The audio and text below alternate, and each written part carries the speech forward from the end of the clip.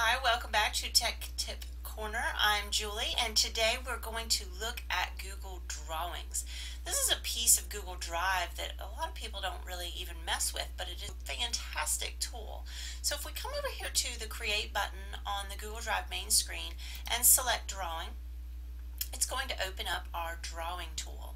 And first of all, I want to make um, sure that you understand that these these boxes in the background that you see those are there because that is an invisible background. So when you create an image in here, it won't have that white background um, that a lot of images have. So um, keep that in mind as we move forward.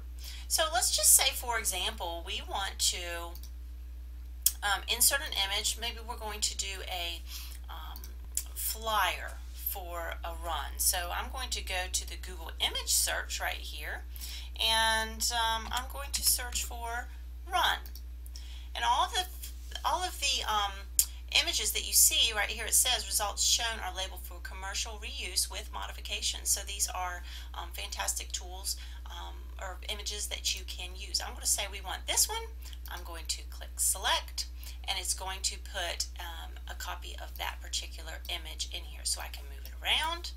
I can change the size, uh, do all kinds of wonderful things with it. Then I can come up here to my toolbar and I have a text box. So I'll click the text box, come on over here, and I'll say um, family run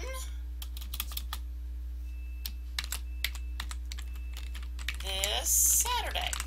Okay, I can change the font,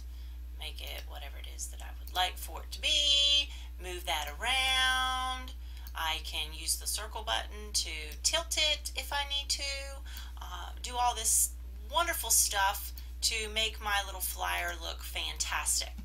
Once I'm finished, I can come over here to File, and I can download this as a PDF document or um, an image as well. So then I can use this um, to promote this particular event on my website or copies of it and pass them out as well.